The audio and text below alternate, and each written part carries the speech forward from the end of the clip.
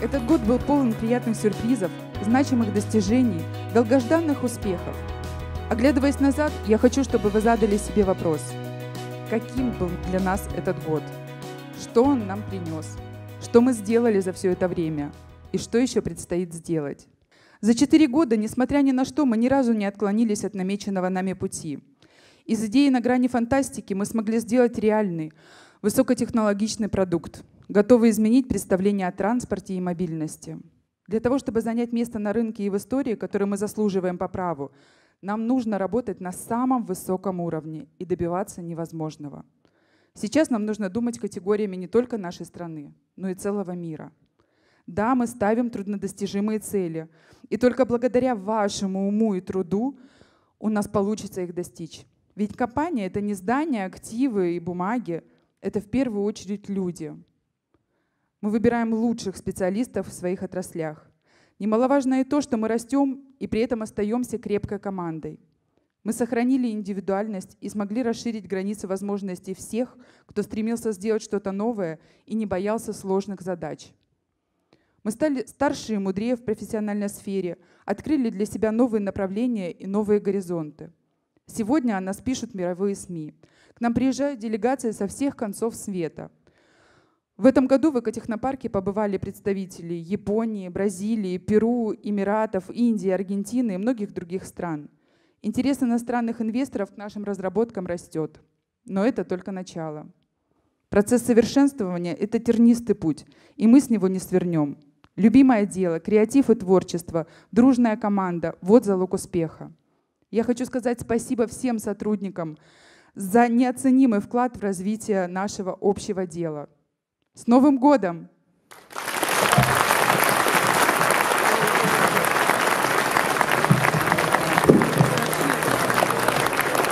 А сейчас пару слов нам скажет наш генеральный конструктор Анатолий Эдуардович Юницкий.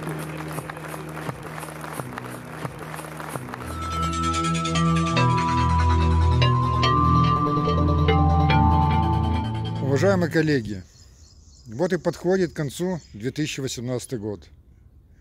А, год, который определил основной вектор нашего развития. Это Объединенные Арабские Эмираты.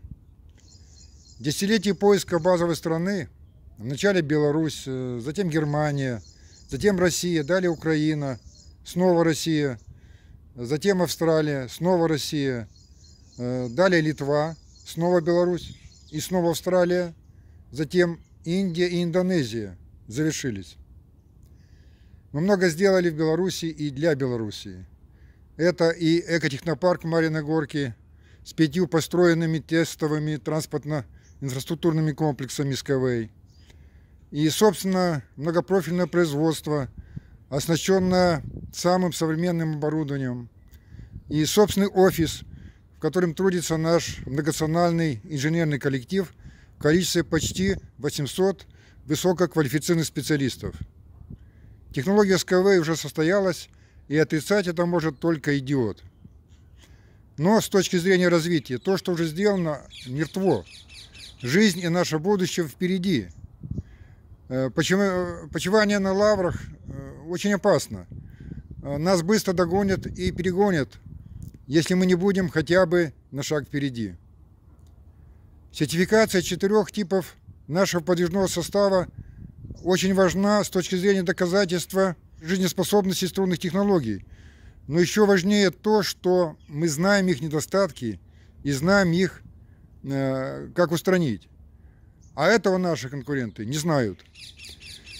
Сегодня уже определены векторы развития струнных технологий и других сопутствующих технологий на многие годы вперед. Но не зря говорят – Хочешь насмешить Бога, расскажи Ему о своих планах. А еще есть мудрость. Человеку нужно два года, чтобы научиться говорить, и 60 лет, чтобы научиться держать язык за зубами. Поэтому не планы важны, а вектор развития.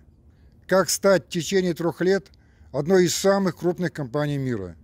Итак, подписаны все необходимые соглашения. Выделена земля – в общей сложности 225 гектар, что больше площади Монако или пяти Ватиканов.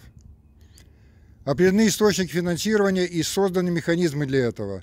И не только краудинвестинг. Уже дан старт работ не только по созданию инновационных центров Skyway в тропическом исполнении, но и нескольких адресных проектов, которые будут полностью финансировать заказчики, а это миллиарды долларов. В уходящем году у нас была сложная конкурентная борьба, исход которой не был ясен до самого последнего момента.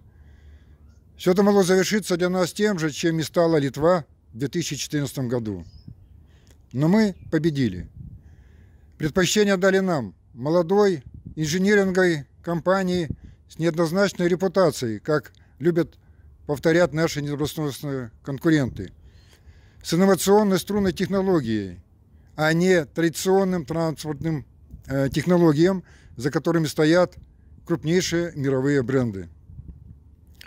С наступающим Рождеством и Новым годом, годом наших решающих побед. Строй Skyway, спасай планету!